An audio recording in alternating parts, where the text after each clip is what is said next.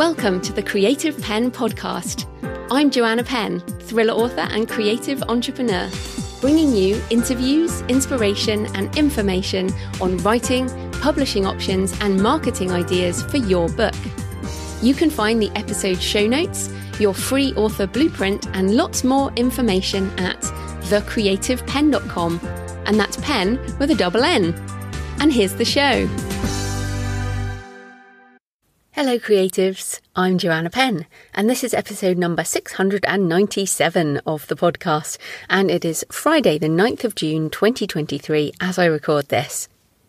In today's show, I'm talking to Thomas Umstattd Jr. about novel marketing and also Christian publishing, which are the topics of his two podcasts. And we have a fantastic, wide ranging chat that you'll find useful regardless of what genre you write. So you can also be writing non-fiction and find it useful, or whether you are a Christian or not, as Thomas gives some great advice from his many years in the business. We also talk about how to successfully pitch podcasts like our own and how to be a good guest. Both topics I also cover in my book, Audio for Authors Audiobooks, Podcasting, and Voice Technologies, available on, you guessed it, my store, creativepennbooks.com, and of course on all the usual stores in all the usual formats. So the interview with Thomas is coming up in the interview section. In publishing and book marketing, well, I don't have any specific news this week, but I do have something to consider that might help you navigate aspects of publishing and book marketing that kind of relates to the topic of today's show, but also maybe other aspects of life as well. I'm also going to give you an earworm if you are of a similar age to me, so I am 48. So I heard an American author this week talking about marketing, someone I admire very much, to be clear. He was talking about advertising outlay and specifically some of the risks he was taking in order to put more money into ads. Now, he didn't see these actions as risks, but rather ways to accelerate growth, but I perceive them as risks. And yes, these risks were driving incredible revenue. These actions, I, I guess I should say, were driving incredible revenue and they were attracting much opportunity, and it was all going very well for this author. And I felt the rise of comparisonitis, which happens to me from time to time, as it does to us all. And comparisonitis uh, is that basically you compare yourself to this other author and you think, maybe if I did those things, I would have that type of success. And I wanted to talk about this because I know you have likely felt the same way at some point.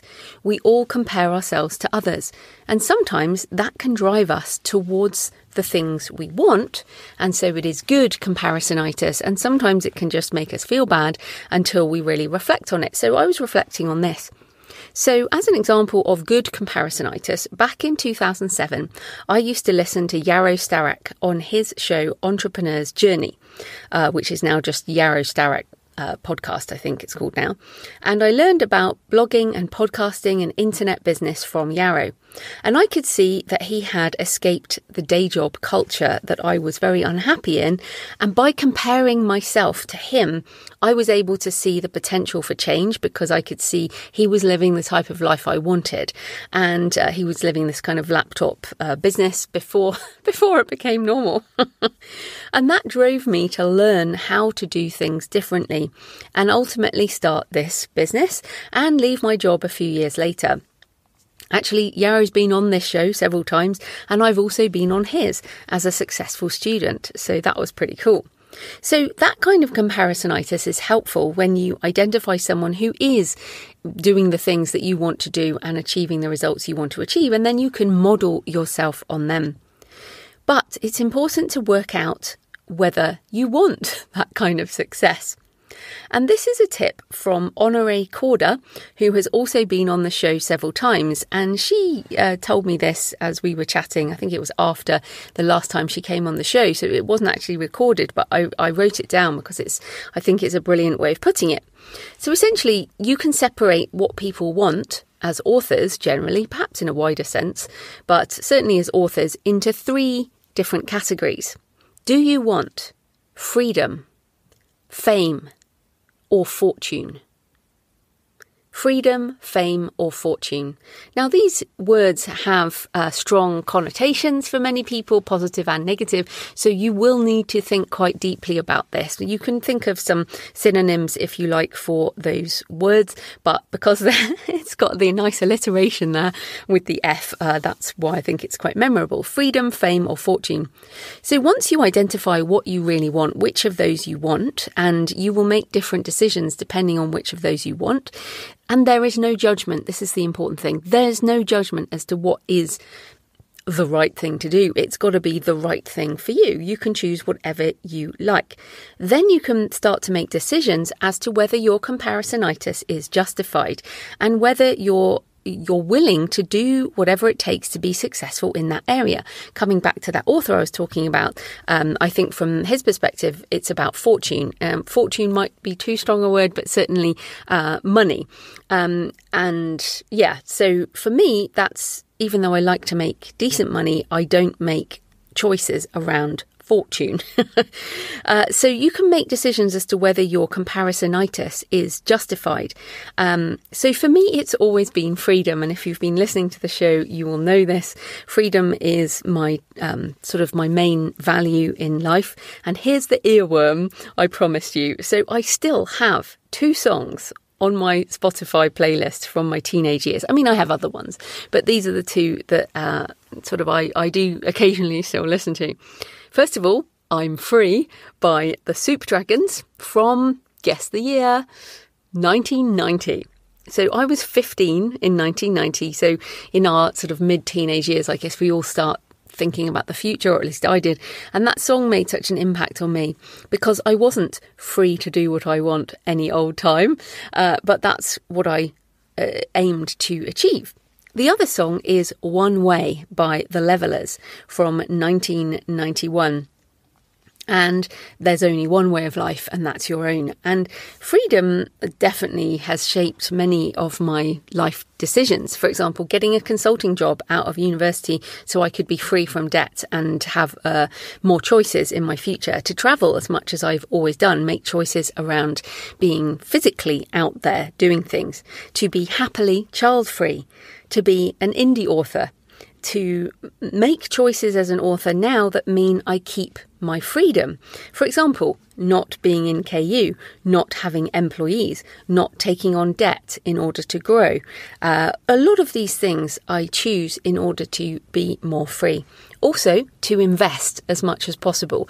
And I do have a list of money books, thecreativepenn.com forward slash money books, which go into a lot of stuff around investment because I want to be free as I become older and I need other streams of income for that that are not based on my physical work. So I also focus every day on physical health. So this morning, for example, I walked 11k as part of getting to my gym and home again uh, in order, f- and then did a weightlifting session. So this is quite a big chunk out of my day, which I do several times a week. But I'm pretty obsessed with retaining my freedom later in life, uh, physical freedom too. And so I prioritise my health span and I support the charity Dignity in Dying. So I have the freedom to choose in the future. Obviously, things can happen where you lose this type of freedom, but uh, I do, a, I make a lot of choices around that. And again, no value judgment here. You make the choices you want to make um, in order to do the things that you value. So, my challenge to you today is what do you value? And this is specifically as an author. I realize some of you are going to say family, family's the other F. But no, we're really talking about, if we're talking about publishing and book marketing in this section, um, uh, family is not the reason you do things around book marketing. so, what are these things? What underlies your choices? Do you want freedom, fame, or fortune as an author? And if you don't know which one you want, you need to get really honest about it because it will shape the choices you make. What are you willing to do to achieve success in that area? What are you willing to give up. And some people say, oh, well, I want a bit of maybe two of those. Yeah, quite like freedom and fortune. But I really think that the decisions you make are so different depending on which of these you want. Um, for example, you know, I have absolutely no desire to be um, Insta famous or TikTok famous or go viral or be on the BBC News or be on, uh, be in, uh, in a magazine or whatever. Like fame has no interest for me. For, that's definitely bottom. Fortune, I definitely have an interest there, but it's not my number one. Freedom is top. So for you, what order are those in? So you must make the choices you want to in order to achieve the goals you want to achieve. But coming back to comparisonitis, do not compare yourself to someone who has a different value to you. And you you might be wrong, but you know, you have to evaluate what someone else values in order to make sure you're not comparing yourself to them. So, yeah, I'm interested to know what you think about this. Tweet me at the creative pen with a double N, leave a comment on the blog or the YouTube channel, email me, joanna at thecreativepenn.com. I hope that question gets you thinking. So, in personal news, I'm still iterating, I'm calling it now, through my next novel, Catacomb, which is kind of taken like the movie Taken meets Beowulf in the catacombs under Edinburgh. And I know the shape of it now and the drafting is almost done, but this is quite different a different process as I'm sort of playing with AI tools and using GPT-4 for lots of things and other tools as well.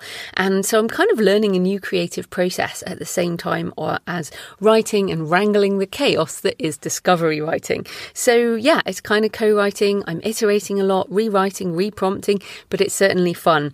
So the aim is that Catacomb will go to my editor at the end of the month. So I am focusing on that as my primary creative thing this month. I'm also finally building a new Shopify store for my fiction for JF Penn, and I intend to launch Catacomb through that new store.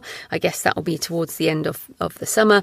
And I've been meaning to do this for a while, build a second store, um, but the next launch gives me the impetus to do that. So um, I realise many people are like, oh my goodness, that's a lot of work it is a lot of work, I can tell you that. But uh, for me, it's the right decision to separate my stores, and as it always has been, to separate my brands. Although, if you didn't know, I only did separate my brands in 2012, I think it was. I used to write my fiction also under Joanna Penn, but I am a very different writer as Joanna Penn than I am as JF Penn. So I'm really happy to keep it separate. And coming back to marketing, as more and more marketing is done with AI, it helps if you have a more segregated audience. So having a different Shopify store will mean that the um, the pixel and all of that will be different, and the um, conversion ads hopefully will work better.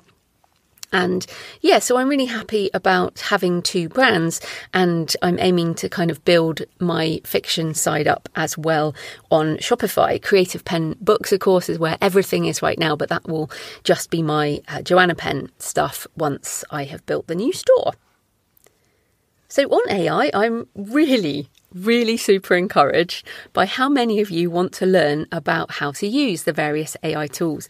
And in fact, so many that I've added a new session to my live webinars. So I may, I, I think I'm probably a little bit mad because I wanted to keep the sessions at a manageable level so I can get to as many questions as possible. So uh, there are now five, five separate webinars well I will deliver the same material five separate times and they are all in that last week of June the beginning of July. So I um, so you can go to thecreativepenn.com forward slash live, L I V E, links in the show notes and I'll be giving a demo. I'll, I'll first of all I'm going to go through a whole load of principles around thinking about AI and then I'm going to go into using the various tools ChatGPT GPT-4 Midjourney Sudowrite and uh, Poe and and uh, others. So, yeah, that's what I'm going to do. I will not be selling the sessions separately um, because things change so much. I may do some more depending on how well these go, but uh, uh, the ticket holders will get the recording. So, even if you can't attend these live, if you get a ticket, you'll get the recording. So, you can book a ticket at thecreativepenn.com forward slash live, and they are £75. I also, talking about health, as I, I mentioned before, I'm pretty obsessed with this, uh, but I have an important book recommendation that I want you all to get or at least have a look at, and that is Built to Move. The 10 Essential Habits to Help You Move Freely and Live Fully by Kelly and Juliet Starrett. So that is Built to Move. So, and I uh, bought this in Kindle because I wanted to read it, but then I also ordered it in paperback, and I've got it on my desk. I've got loads of little tabs on that. It's got image, you know, pictures of the various postures um, that you can do even during the day. So I'll get up and move around and do some of the stretches and, and some of these things. I increasingly find that the more I focus on physical health, movement, longer walking, my lifting workouts, getting outside, generally being a human in a physical body, not just a brain, then the better I feel. And of course, as the years march by, I want to do everything I can to have a longer health span and also creative life. And exercise is pretty much the number one thing you can do to improve your creativity. So, yes, of course, we will all die. but let's be as fit and healthy as we can uh, as we uh, as authors and as we age. So hopefully we can prevent as much as possible from going wrong. Obviously, things happen, life happens, uh, and but we are authors who are sedentary in nature, and many of you will probably have an office job too, or a work at home job where you're sitting down like Jonathan and I. So uh, yeah, get this book. Built to Move by Kelly and Juliet Starrett. So thanks for all your emails and tweets and comments this week. As ever, Marion uh, Roach Smith, fantastic interview, and many of you enjoyed it. Rob said, Thank you so much for your interview with Marion. I've been thinking about writing a memoir for almost two years, but the topic is still very raw, and as you discussed, I fear the reaction being honest may produce. When Marion talked about writing the personal transcendent change in one's life, it crystallized for me what telling my story means to me and what it could mean to others. I think I know what argument I have to prove, and it all comes down to a cuckoo clock. Thanks again for producing the most insightful podcast ever. Oh, I appreciate that, Rob, and I appreciate Marion. Uh, she is a very good interviewee, and I very much enjoyed our chat, and um, I'm glad it touched so many of you. James says, What a marvellous conversation. Isn't it strange how things work out in this writing gambit? After writing a fantasy series and a standalone, I've just finished a memoir today. And until I listened in, I didn't even realise it was memoir. the Healing Pond is about building a swimming pond when snapping my Achilles heel and finding a new way of looking after myself personal responsibility. This sent me on a great journey as you went on with Pilgrimage. And at just over 32,000 words, it's easily the shortest book I've written, easily the hardest, and taken me the longest to write. Thanks. What a wonderful guest and immaculate timing. And yes, as I discussed with pilgrimage with Marion about pilgrimage, it, it is it's it's not super super short, but it's shorter than I expected, and I cut out like tens of tens of thousands of words, and also the hardest and yeah. grueling but important. I think that's probably what we can say with memoir. Very interesting that James didn't realise he was writing a memoir until the interview. So that is interesting. And finally, Karen Wyatt, who has been on this show and on Books and Travel before, said this was a fantastic interview. I'm inspired by the reminder that readers want to learn about the author's transcendent arc and what helped them get there. I'll use this to structure my own writing. Thank you both. So fantastic. You can tweet me at the creative pen, Send me pictures of where you're listening. I haven't had some pictures lately. Uh, email me, joanna at thecreativepenn.com, or leave a comment on the blog or the YouTube channel. I love to hear from you. It makes this more of a conversation. So today's show is sponsored by Kobo Writing Life, Kobo's free, fast and easy self-publishing platform. KWL was built by authors for authors, and their team of dedicated book lovers is always working hard to help you reach new readers around the world.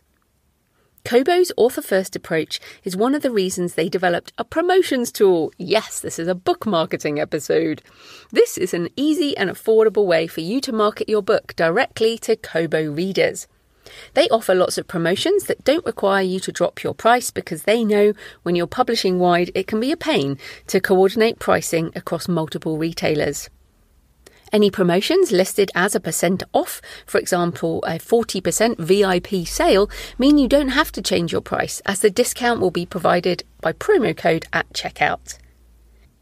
If that sounds good to you, keep an eye out for percentage off promotions and buy more, save more sales, where you can submit your titles and leave the rest to Kobo. And if you're taking part in a promotion, be sure to tell your readers all about it. The promotions tool is updated on a weekly basis, so make sure you're taking a regular look to see what's on offer and if there's an opportunity that matches your books and marketing plans. And on a personal note, I go into the KWL promotions uh, tool every three weeks. I have a reminder in my calendar. I go in and I pretty much enter every single thing I can, and a whole load of them are not accepted, but some are, and those promotions pretty much drive a lot of my sales at Kobo. And they also have promotions for audiobooks too if you do audiobooks through Kobo. If you're a KWL author and don't yet have access to the promotions tool, email the team at writinglife at kobo.com and they'll enable this for you. If you want to learn more about KWL, check out the Kobo Writing Life podcast, available wherever you are listening to this, and find them on social media. You can create your free account today at kobo.com forward slash writing life. So, this type of corporate sponsorship pays for the hosting, transcription, and editing. But my time in creating the show is sponsored by my wonderful patrons, especially the extra in between episodes on AI and other futurist topics. I'm especially grateful to those patrons who've been supporting the show for years and months and weeks. You are all fantastic. It demonstrates you find the show useful and want it to continue as we approach episode 700. it's nice to know you want it to continue. So, thanks to new and returning patrons this week Quinn Ward, Charlie D, Shirley Day, JJ Johnson, Thomas Noss, Jimmy Kepler, and Reagan Teller. And if you support the show on Patreon, you'll get my extra monthly Q&A for patrons only, which I will be doing, I guess, probably next week. Uh, certainly in the next couple of weeks. And I answer your questions about writing craft, publishing, book marketing, making money with your writing, and AI and futurist stuff. You can support the show with just a few dollars or euros or pounds or many other currencies and you'll get the extra monthly Q&A plus the backlist of many years worth of audio if you would like lots more. You can support the show at patreon.com, P-A-T-R-E-O-N dot com forward slash the creative pen. Right, let's get into the interview. Thomas Umstattd Jr. is the CEO of authormedia.com, an award winning professional speaker, non-fiction author, and host of the Novel Marketing Podcast and the Christian Publishing Show. So, welcome to the show, Thomas. Thanks, Joanna. It's great to be here. Oh, yes. It's exciting to talk to you. But first up, tell us a bit more about you and how you got into writing and podcasting and now running a business for writers.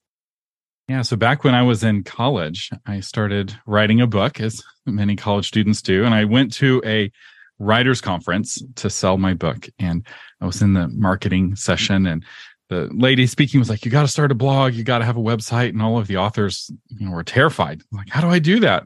Well, I've been building websites since I was a kid. so I met a real author there at this conference. And I was like, well, I'll build you a website for free, no problem. And so I built her website and she told all of her friends and I started charging them. And pretty soon I was going to conferences and selling websites because everybody was interested in my websites.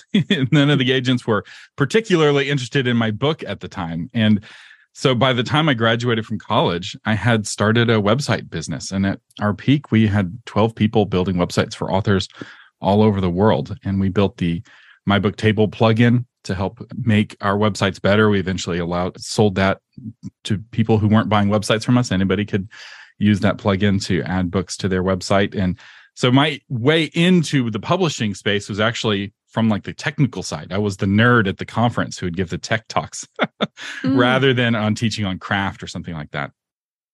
But you have got books, right? Tell us about those. I do. So I wrote a blog post about dating and relationships that went viral. It got a million views in around a month. And a lot of the people reading that article wanted me to write a book about it. I was like, oh, I don't know if I want to write a book. I've been working with authors for years at this point, and I knew how much work it was, but uh, So I, I I thought I got out of it by calling everyone's bluff, and I said, "All right, if you raise ten thousand dollars on Kickstarter, then I'll write the book." So I put the book on Kickstarter, and they raised ten thousand dollars. So I was like, "Well, I guess I have to become an author now."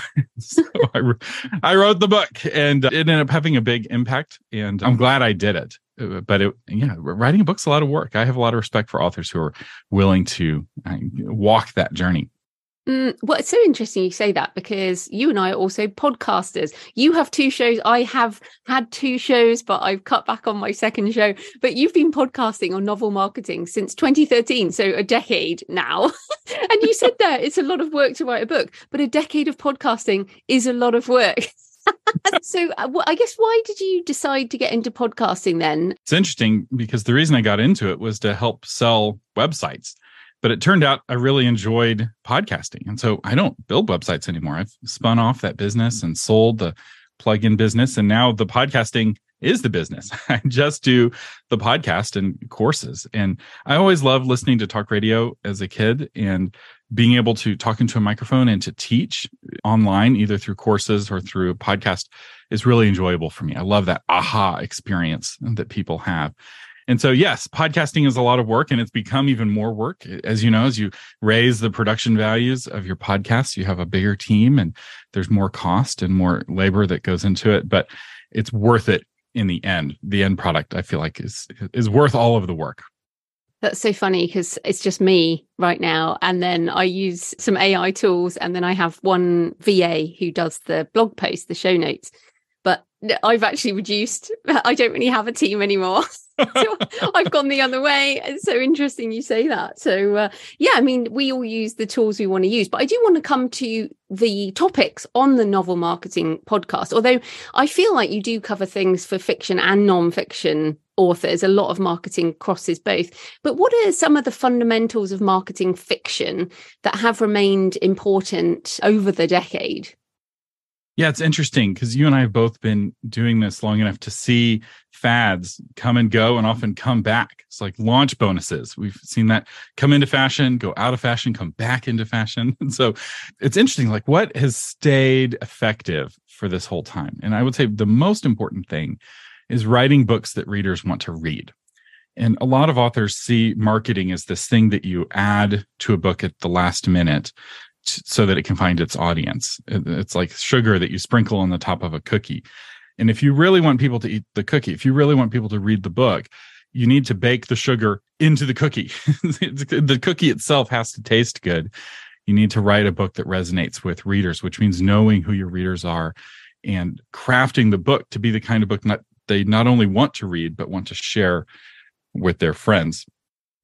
I would say in terms of marketing, and that's like if you don't do that, none of the other things matter because mm. um, if the, you can't fix a bad book with good marketing, and you can't spend there's no amount of money that you can spend to make people want a book that they don't want. You can't change other people. This is useful knowledge for a marriage, but it's also useful knowledge for a marketer. it's like that's not our job. Our job is not to change people into the kind of people who like the book we wrote. Our job as a writer is to write the kind of book that people already like. It's much easier to change your book than it is to change another human being or tens of thousands of human beings. But the probably the most powerful technique back when I first got started was having an email list, and the most powerful technique now is having an email list. Yay! like that has not changed.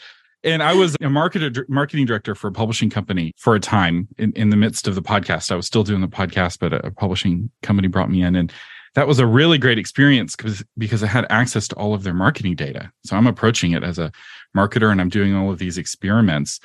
And I learned some things that kind of blew my mind. One was that Facebook did not move the numbers. Facebook activity didn't sell books at all. And this was back in 2015, 2016, when Facebook was still, people thought it worked. And I was like, I'm not seeing these Facebook promos moving the sales needles at all. Uh, and the other thing that we saw was that email really did. an mm. author with an email list sold so many more books than an author without an email list, especially at launch, which then gives them that, that momentum to carry through, often for months ahead of time. And mm. I would say probably the next most important thing, again, that hasn't changed is owning your own platform. So if you're a chicken, the food is free at the chicken coop. But the reason the food is free at the chicken coop is because you are the product being sold. So if you're unhappy with Facebook, there's no one to talk to because you're not the customer of Facebook. You are the product that Facebook is selling to somebody else. They're selling your attention, they're selling your time to advertisers. And if you want to have effective marketing, you need to be willing to be the customer to pay. And, and Facebook will talk to you. If you spend enough money on advertising at Facebook, suddenly you get a contact person, you get a, a customer success manager or an advertising consultant and it, the whole game changes. So I'm not saying that Facebook advertising should be the tactic for you, but if you want to be effective in your marketing, you need to see it as something you spend money on rather than just time. The idea that, oh, I can create funny memes and share them on social media and that will make me famous. That's, I just have not seen anyone show numbers that that is the case.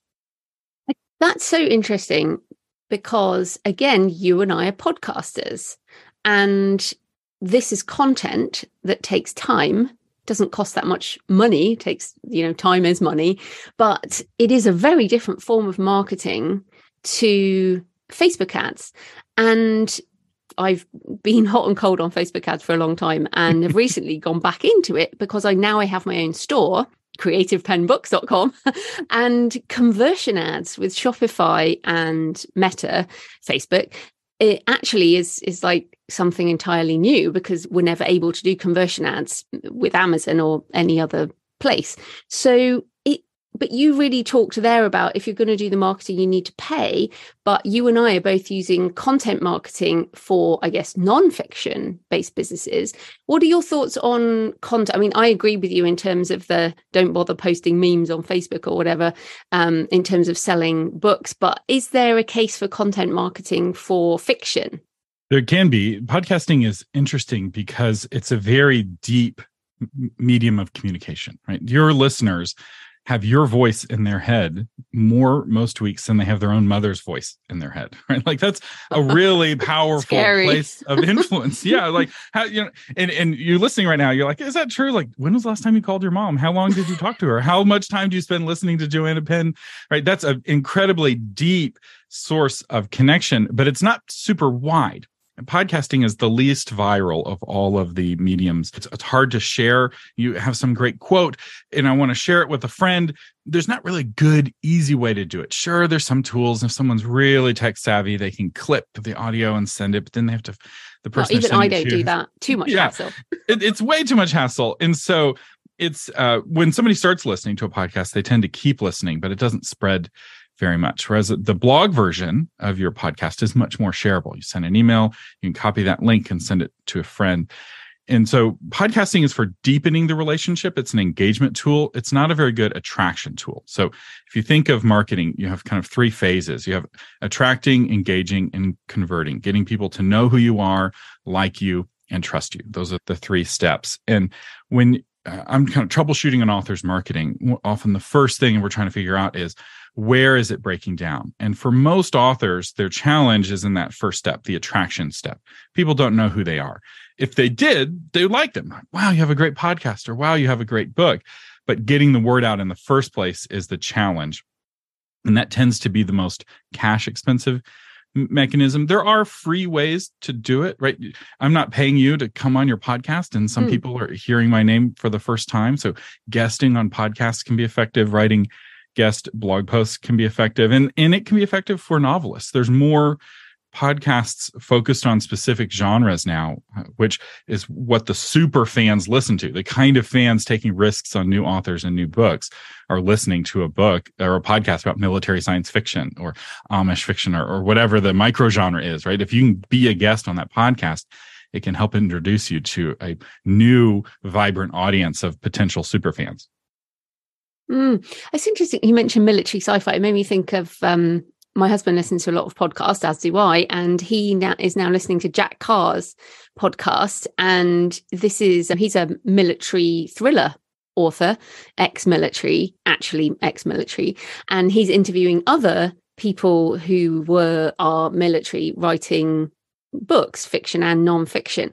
And I thought it was really interesting because this guy's a really big name thriller author in the niche. And yet he's doing a podcast which is around his author brand as such that also relates to his fiction which I thought was really interesting. And it's what I kind of tried to do with books and travel, which is interview people who use places in their in their novels and their nonfiction, but it morphed into more of a travel thing for travel people. So I kind of got that wrong. And when I was thinking about this idea of podcasting for fiction, I was thinking around is it best to go after the nonfiction themes that lie beneath your novels. So for me, it's religion, history, European culture, that kind of thing. I had Jack Carr's gone after military. And that could have been military sci fi, but it's actually for him military thriller, not military romance or anything like that. So, what do you think about that kind of idea? Like, what are the themes, the non-fiction themes beneath our fiction? it can work. And the question determining whether it will work for you and for your genre is does my genre have an otaku? So this is a Japanese term for like somebody who's obsessed with something. It's like fan, but like stronger than fan. So the classic example that Seth Godin shares in I forget which book, but he talks about how hot sauce in America has an otaku, right? There's hot sauce magazines, there are hot sauce TV shows or, or YouTube channels. People are really into hot sauce. There is no ketchup right? Ketchup's very popular. In fact, arguably, ketchup is more popular than hot sauce on a per ounce or per kilogram basis, except everybody just eats Heinz ketchup. like, like everybody's got the same ketchup. And so if you wanted to uh, do something around ketchup, people are like, oh, that's boring. But if you're going to be like, I'm going to have a podcast about the spiciest hot sauces in the world, and if you can eat them while answering interview questions, right, you'll get millions of views. On on so, YouTube. You should that on one YouTube. should be on YouTube for sure. yeah. Oh, it exists. It's called the Hot Ones. He gets celebrities on and he tortures them with hot, spicy wings, and then asks them uh, hot questions, and you'll get to watch famous people cry. It's it's it's quite fun. but that show wouldn't work if they were eating ketchup. And the same is true with certain genres. So some genres they just don't have that kind of fan base you know people buy them and read them but they do it quietly they don't talk to each other about that genre and also does that genre connect well with the nonfiction topic? So, an area where it does work well is uh, Christian books, Christian mm-hmm. nonfiction, Christian fiction. C.S. Lewis, you know, one of the most famous Christian authors, he writes a book, Mere Christianity. He makes the case that Jesus is either Lord, he's a liar, or he's a lunatic. And then he writes Narnia, where Lucy comes back from Narnia and tells everyone about Narnia. And the professor says, well, Lucy's either lying she's crazy or she's telling the truth about Narnia, right? He's taking that same nonfiction argument straight from his nonfiction book and embedding it into his fiction book. And they both support each other, both in a marketing way and in a messaging way. That's great. Well, let's come to the Christian publishing because you also host the Christian publishing show. And some people might be Christians listening, but might not publish Christian books. And then there's people like me. I'm not a Christian, but I have a master's in theology, and pretty much all my fiction has religious elements, a lot of religious history, uh, Christian in particular, as well as my recent memoir, which is called Pilgrimage. So, one of the reasons I wanted to talk to you was about this Christian publishing niche. So, what are the hallmarks of Christian publishing and what are the kinds of genres that sit within that, fiction and nonfiction? So, Christian publishing and Christian books are different from other genres in a very interesting way.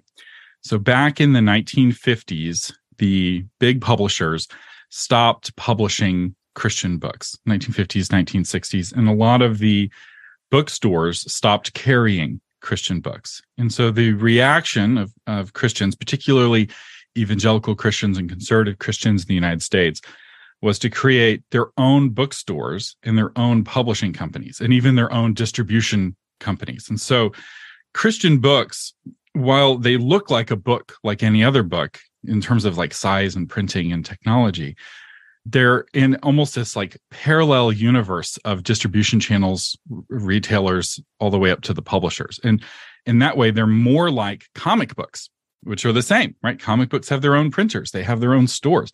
I don't know how it is in the uk but here in the states you go to a comic book store and it doesn't have any normal books but it might sell magic the gathering or it might sell warhammer figurines and there's tables to play board games and there's all these comic books to buy and it's its own subculture right? Mm-hmm. Somebody might spend $50 a month at a comic book store and no money at a Barnes and Noble or on Amazon on traditional books. And Christian publishing, when we say Christian publishing, what we're referring to is that kind of conservative evangelical side of publishing that got kicked out in the 50s and 60s. Now, what's interesting is that with the Left Behind books in the 90s, they were brought back in. so the Left Behind books sold a billion dollars worth of books in a. I, I was one of those readers.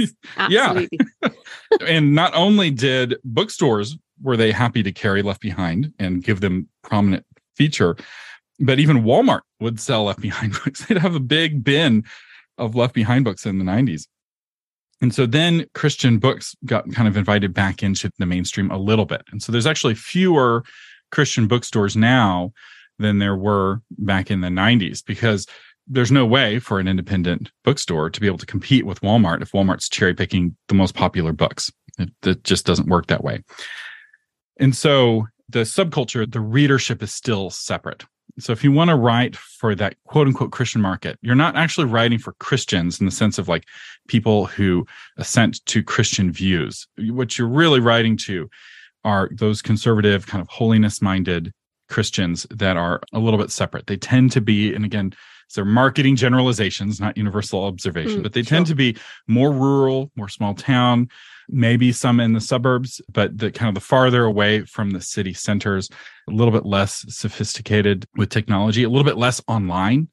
So if you're really trying to target them, they're not as online. They're not super online all the time. In fact, the biggest force in Christian publishing right now in terms of book sales are homeschool book fairs, which are these kind of rolling book fairs that will move from town to town. And authors will go to these book fairs once they've established a reputation. And it's not uncommon for an author to sell 10, 20, $30,000 worth of books over a weekend, cash on the barrel. This is not mm-hmm. tracked by Bookscan. The, you know, the NPD group doesn't know these numbers. it's just handing cash for a book or swiping a square credit card. And it's not just books for kids, it's this whole community of conservative homeschoolers who are creating books for each other and buying those books in very large numbers. And the authors who are big in that world, often people don't even know who they are, but they're making, in some cases, millions of dollars a year reaching this very different, very separated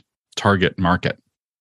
Yeah, it's so interesting to hear that. And uh, as I said, I did read those Left Behind series. And I think the spiritual warfare books were what kind of brought me into writing the types of books I do now and why I think about angels and demons and all of that, because that's what I, as a teenager, that's what I was reading about basically fighting. So to me, I mean, they're on Amazon, though, talking about sort of the online bookstores, there are categories of things like Christian fantasy. I don't know where Left Behind sits, but I realized that, um, well, no, I mean, that, that is Christian fantasy, right? The Left Behind series, or is it post apocalyptic Christian fantasy? Because the rapture hasn't happened and that's what the books are based on. But just coming back to the genres, so what sort of genres sit within that? Or, and even now, can people sell online as well? Yeah, so that's what's interesting now that because it used to be Christian bookstores would screen and they would make a decision what is and is not a Christian book. All right. You could call yourself a Christian book, but if the bookstores don't stock you, then you're not a Christian book. And it gave companies like Lifeway a lot of influence.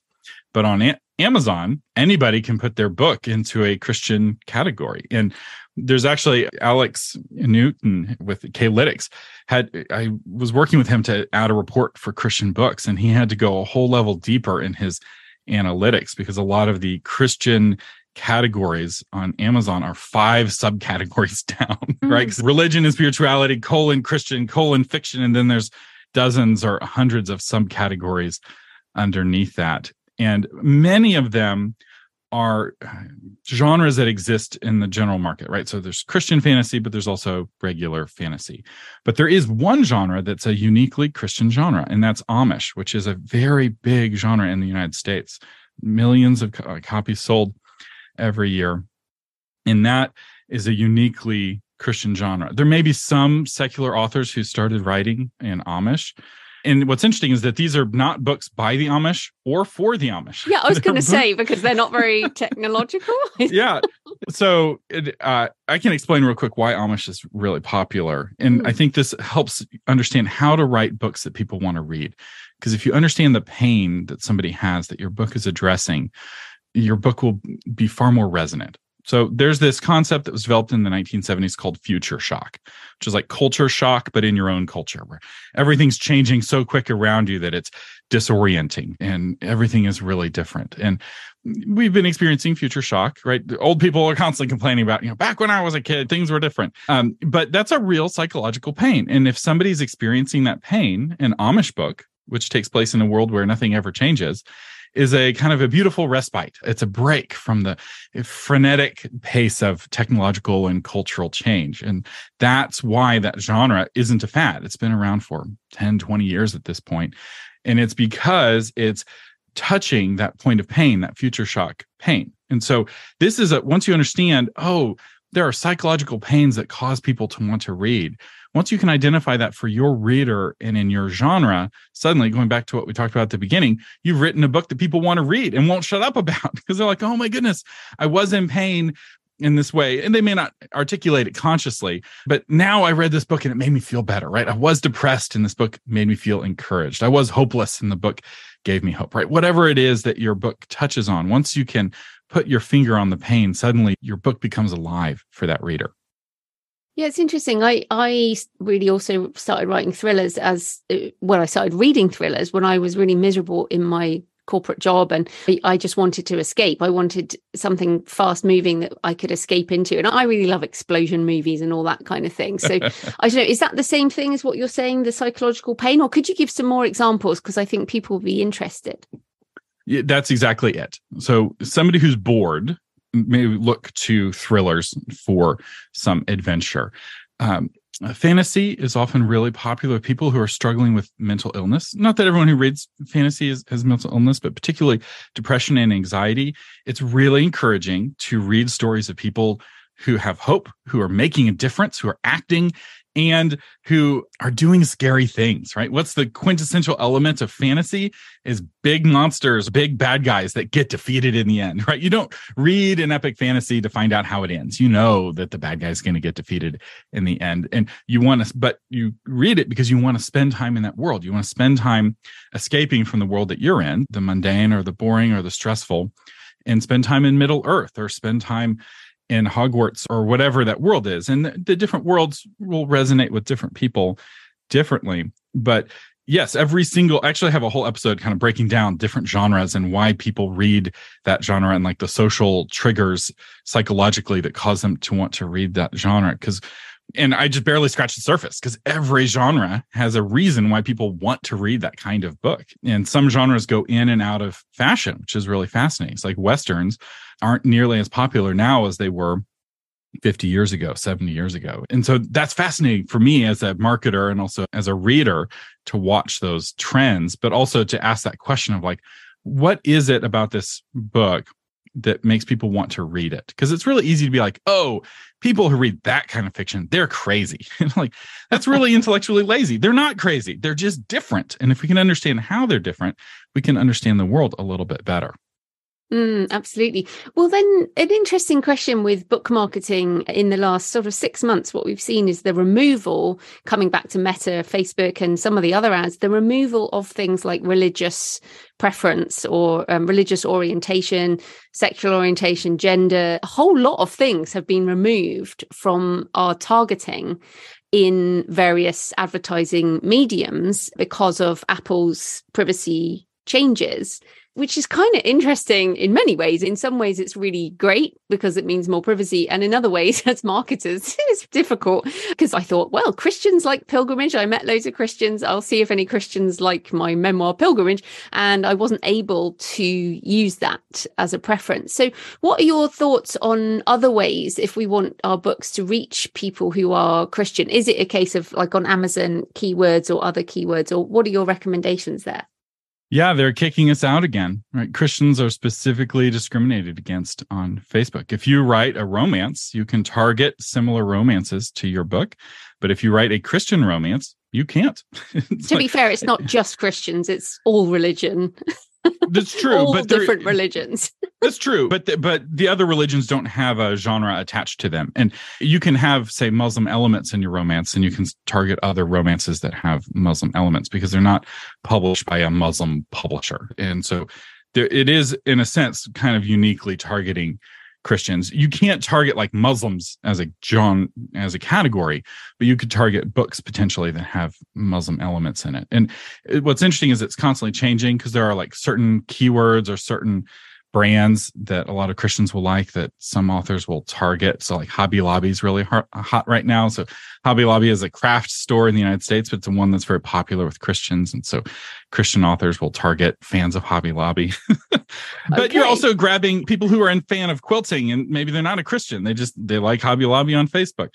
And so you have to start thinking outside of social media. And I will say, starting in 2016, Christians often started pivoting off of social media and especially starting in 2020 it was very clear we weren't very welcome especially to have conversations about christian topics.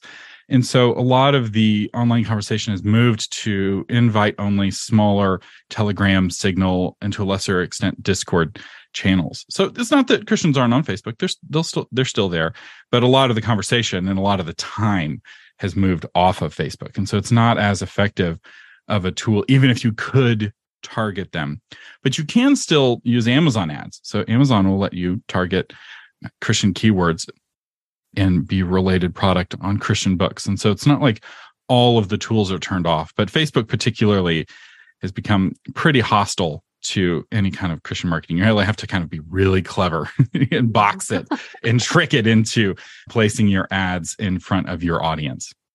Yeah, I must say, with my book title, pilgrimage is a pretty keyword specific book. So it's been very interesting who's been finding it. But our titles can have different words. I mean I, I, some of my book titles are the same as the left behind titles because there's some really good words that tap into some religious themes and stuff like that. We mentioned email before. What about the big email list stuff? I mean, things like BookBub and other email list sort of marketing things. Is that something that you think is still worth doing?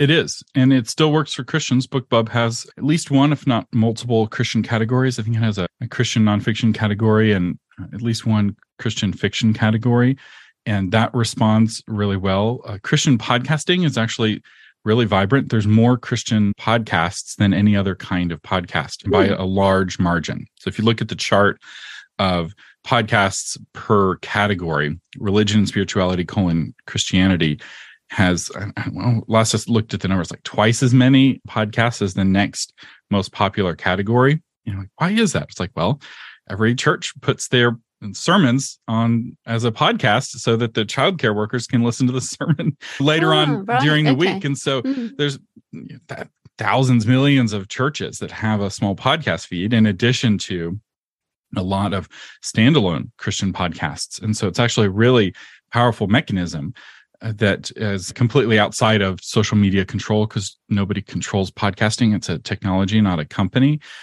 and so it's a censorship resistant as we like to say in podcasting. And and not only that but a lot of christians learned how to subscribe to a podcast to get their church's sermon podcast right? They're sick or they can't go to church on sunday so they download the episode on a podcast. And so and both guesting on christian podcasts but also advertising on christian podcasts can be very effective. Email still very effective. It's very forwardable because Christians live in communities. So if you can get one person in a church to like your book, there's a chance they'll tell all their friends at your church, at their church about your book. And so there's still virality, especially if you bake it into the book itself. You put elements into the book worth talking about.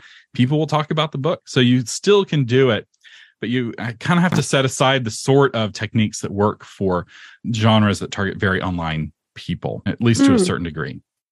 I love that. In fact, and I was just thinking there about, I mean, I guess also Christians who go to a church that does sermons every week, which is, I guess, most churches, people are used to listening to someone talking about a theme for a certain amount of time, which really suits the podcast format. So I can see why people would want to go and listen either obviously to their own pastor, but also to other people's churches. I mean, they might want to go listen to a sermon on a particular topic or Bible verse or something. So I can see actually why this is so good. But I did want to ask you, therefore, if there are Christians or other people listening who would like to pitch Christian podcast or any podcast, in fact, you and I both get tons of pitches. So, what are your tips for pitching a podcast, especially for fiction authors in particular? The most important tip is to listen to the podcast before sending your pitch. I know it's time consuming, but Joanna, you probably get 99 pitches for every one that for everyone you say yes oh, to. Yeah. Maybe and more than ridiculous, that. Ridiculous, ridiculous yeah. number. Yeah. And, and the key to fishing is that the bait needs to fit the fish, right? If you're trying to catch a catfish, you're going to use different bait than if you're trying to catch a salmon. And and the only way that you can adapt your pitch to the podcast is to have listened to that podcast first. And it's very obvious getting a pitch that they have no idea what the podcast is about. That whoever did this just got a list of podcasts on publishing or whatever, and then they're sending the same pitch to all the podcasts and just swapping out the name, or sometimes not even swapping out the name. Right? So somebody sent me a pitch this just the last week, and they're like, "I really like your podcast," and it had some other podcast yeah. name. It's like this is a copy and paste fail right here, and there's this idea of like, well, if I just do it enough, some of the podcasts will say yes, and what you'll end up doing that way is getting kind of the most obscure, the smallest podcasts that maybe no one's ever pitched before. Those might actually say yes to you. And there is some advantage to going on a very new or very small podcast because it gives you a chance to practice on a new audience. But it's not going to be effective in reaching a large audience because the podcast is new. It has a small audience. And so listen to the episode first and then listen for how that podcast host is trying to thrill their audience. And then when you craft your pitch, you craft it in such a way where you ex- you kind of demonstrate, "Hey, I know who you are. I know who your audience is. I know what your audience wants and I can help you give them that." And if you craft your pitch that way, suddenly people are like, "Oh, thank you. I needed a guest for Thursday and you would be a good fit. But you have to actually, you have to do the work to demonstrate that you're a good fit. They're not going to spend 30 minutes researching you to see if you're a good fit. You've got to do that work yourself the value to the audience is always so important. And as you say, we both get pitched for like ridiculous things like a credit card thing. I was like, really? Why? Why are you doing that? Or someone who says, Oh, I watched your podcast of this interview and I watched the video of it and it was amazing. And I'm like, Yeah, there was no video. So you you just blatantly lied. But yeah, I mean, that's the thing. The scattergun approach doesn't work. But let's say you do, someone listening does a pitch, they get an interview. What is what is the best way to deliver value to the host and the audience? Well, the first thing I'd recommend is to buy a good microphone because you, as the guest, you are half, maybe more, depending on the format of the show, of the audio quality. So if you come to that podcast with bad audio, you are lowering the overall audio quality of the podcast significantly. And it's no longer expensive to get a good microphone. It used to be back when we were starting, Joanna. It was mm. there was not a lot of microphones available, and the ones that were available weren't very good. Back ten years ago, the Blue Yeti was considered a good microphone. It's not a good microphone, but back in 2012, it was you know pretty good. It was maybe the second or third best microphone. Now there's probably 30 microphones better and in some cases cheaper. Can I just ask you that? Yeah. What microphone do you use? So, well, I use the um, Shure SM7B. It's a it's a very expensive microphone. This isn't the microphone I recommend for an author getting started. For somebody getting started, I recommend the Samson either Q2U, which is a twenty dollar microphone. It looks like a stage mic, or for $100 you can get the q9u which looks like a podcast microphone. It's a dynamic microphone. It's blind to room noise and road noise unlike the yeti which is very sensitive to room noise and road noise. And you don't have to treat your room if you're using a q9u or really any dynamic microphone. But what's nice about the q9u is that not only is it a dynamic microphone but it's a dynamic microphone with usb so you can plug it directly into your computer and it also has XLR. So if down the road you want to get a mixer or a board and get a fancy setup, you don't have to throw away your microphone. It can scale with you. And let's say someday you do want to get the SM7B, which is the $400 microphone that all the big podcasters use. Well, you can then put that Q9U as your backup microphone for your guest, right? You can still use it. So it's a purchase that scales really well. I'm still using a Blue Yeti for both this podcast and my audiobooks. so I would say that there you can make the most of any equipment, but as we established earlier, you do have a higher quality production than I do. and to be fair, I didn't know you were still using a Yeti. I'm not trying to. But that is really out. funny. That is actually really funny. So for people listening, I think you can make the best of whatever you've got. But the main tip is having a microphone is better than nothing because you know how many people come on and don't even have a, a, separate mic. They're just talking to the computer. The other thing I would say is earbuds so you can separate the input and the output because that is the worst kind of annoyance I find. Absolutely. And it also reduces echoes. Having headphones or earbuds is critical. And this actually really illustrates a good point. You don't care the microphone that Joanna is using. You care that what she has to say is useful and helpful, right? She's useful and helpful every week. And so you keep listening. And that really is the most important thing. Yes, a different microphone, less room noise or whatever might help a little bit. But if you're not useful and helpful, it doesn't help at all, right? You mm. have to thrill the audience. That's the first most important thing, both as a host and as a guest. And so if you can convince somebody that you've got the information or the story that will really thrill their audience, they may put up with you not having a good microphone, but have something. Don't talk into your laptop uh, your laptop microphone is really bad. Yeah, no, exactly. And the other thing that I've sometimes found is that people will be hesitant about sharing aspects of their book. Obviously, if you're talking about a novel, you don't want to do any spoilers, but I always have the attitude you have to give as much away as possible in order to give value. And then if people are interested, they will go buy the book, right?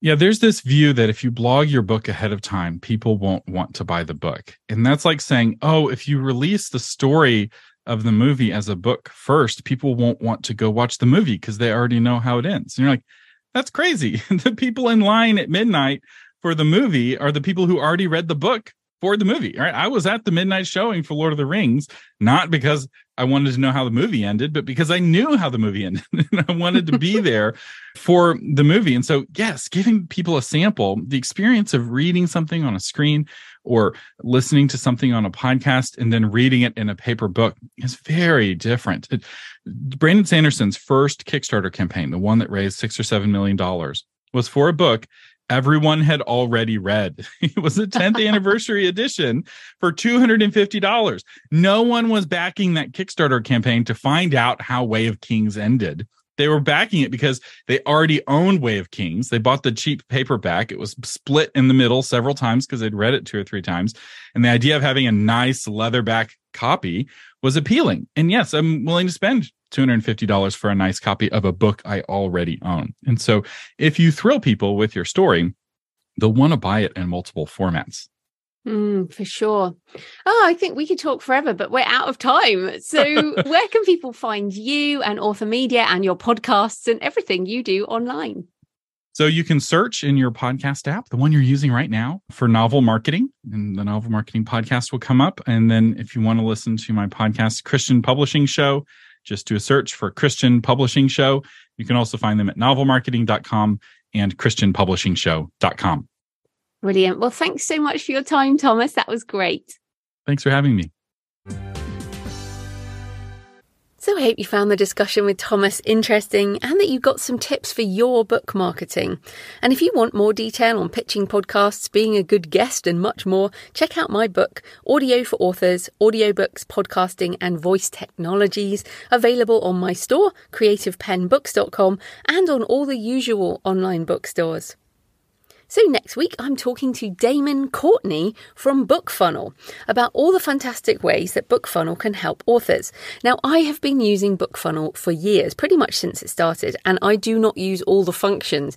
And recently, I was I emailed and said, "Hey, I want to sell more bundles, but I don't want to have to create one digital file. Can you do that?" And that is just one of the standard things they offer. Uh, you can deliver multiple files with one sale uh, through Shopify or WooCommerce or whatever, and And I was like, oh my goodness, that's super useful. Why didn't I know that before? So there's lots of things I didn't know about BookFunnel, and uh, I would like to know more. so I, Damon's coming back on the show, uh, and it's useful however you publish because many authors use BookFunnel to deliver free books for their email lists, but there's lots more you can do with it. So yeah, lots of tips from Damon coming next week. In the meantime, happy writing, and I'll see you next time. Thanks for listening today. I hope you found it helpful. You might also like the backlist episodes and show notes available at thecreativepenn.com forward slash podcast. You can also get your free author blueprint at thecreativepenn.com forward slash blueprint. If you'd like to connect, you can tweet me at The Creative Penn or find me on Facebook at The Creative Penn. See you next time.